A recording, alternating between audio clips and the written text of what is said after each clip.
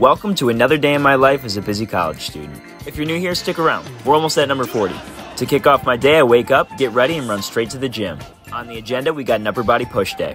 I run on home and make some breakfast. Today, we're slapping some peanut butter banana toast and a Dutch baby with Greek yogurt and homemade berry sauce. The flaky salt is non negotiable. I shower up, change, and then I get straight to work editing some videos. And then I hop on a quick networking call before heading to campus for my first class of the day.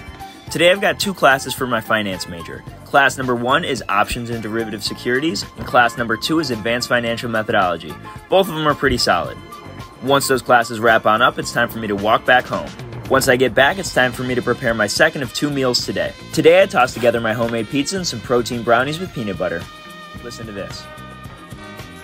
I do the dishes, hop on an investment banking mentoring call, and then wrap up the day with a study stream. Good night.